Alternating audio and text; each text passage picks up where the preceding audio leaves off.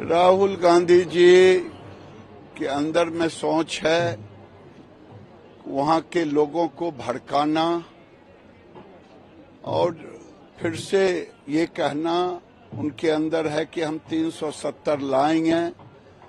लेकिन देश इसे स्वीकार नहीं करेगा, क्योंकि राहुल गांधी फ्रस्ट्रेशन में हैं, इधर कुछ मुरझाए रहते हैं, जब से उनका जात और धर्म अपने को बता नहीं पाते हैं, लेकिन समाज में अति पिछड़ा, ये कहते कहते राजनीतिक भाषा बोलते हैं, लेकिन अपने को, अपनी बात नहीं बता पाते। शिल्पी दीदी को टेक्नोलॉजी से जोड़ा जाए, और उसके लिए विभाग ने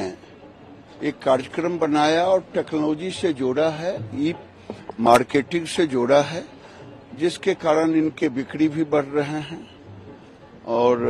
काउंटर बिक्री भी अच्छा है। और मेरा मानना है कि आज पूरे देश में जो हमारी शिल्पी दीदी हैं एक लाख करोड़ से ज़्यादा का मार्केट हमारे इस सेक्टर में है और लगभग चालीस हज़ार करोड़ का एक्सपोर्ट राहुल गांधी जी के अंदर में सोच है, वहाँ के लोगों को भड़काना और फिर से ये कहना उनके अंदर है कि हम 370 लाएँगे, लेकिन देश इसे स्वीकार नहीं करेगा, क्योंकि राहुल गांधी फ्रस्ट्रेशन में हैं, इधर कुछ मुरझाए रहते हैं, जब से उनका जात और धर्म अपने को बता नहीं पाते हैं, लेकिन समाज में अति पिछड़ा ये कहते कहते राजनीतिक भाषा बोलते हैं, लेकिन अपने को, अपनी बात नहीं बता पाते। शिल्पी दीदी को टेक्नोलॉजी से जोड़ा जाए, और उसके लिए विभाग ने एक कार्यक्रम बनाया और टेक्नोलॉजी से जोड़ा है ई मार्केटिंग से जोड़ा है,